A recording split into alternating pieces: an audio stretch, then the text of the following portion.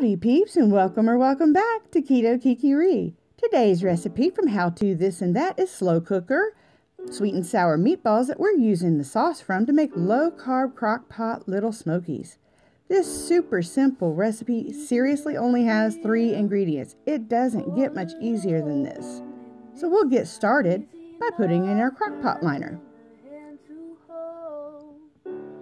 Now you are able to spray the sides or butter it or however you want to do it. I prefer the liner just for an easier cleanup.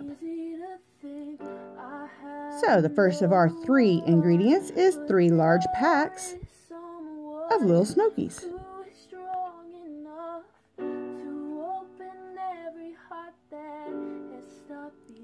I seriously thought I had all of these pre-cut for the video. Apparently not.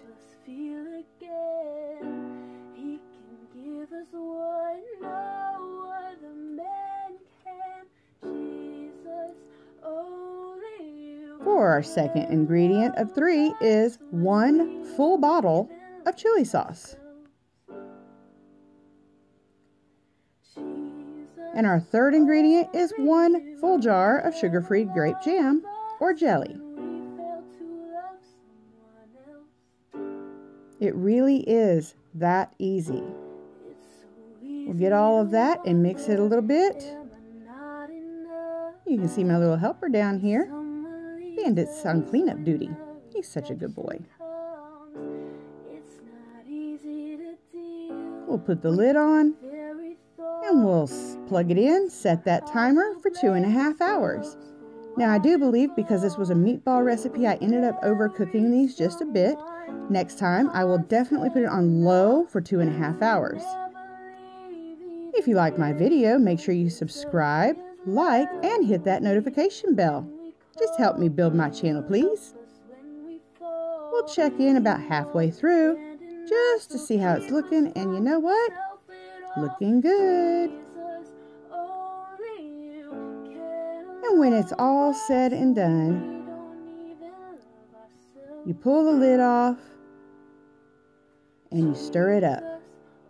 It really is that easy. Total prep time maybe 5 to 10 minutes. My first taste tester is Caleb. And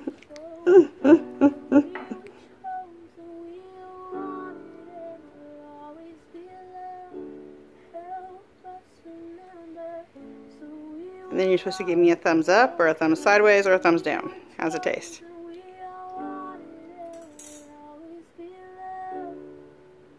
I need a thumbs up or a thumbs down, dude. You do realize this is all going to be cut out. so with the official thumbs up from Caleb of Kingdom Mindset Outdoors, I also got a thumbs up from Waylon Empty Grave Outdoors and Zach of Skill Sanctum, who gave them all a thumbs up. I had other taste testers like my oldest son Tyler, friends and family of Charla, Lisa, Cindy, Aurora, and my husband Andy, who all gave it a thumbs up, and Miss Amanda, who gave it a sideways thumbs. Again, I think I overcooked these, so next time I will definitely put this on low. That's all there is for now. We'll see you next time, peeps.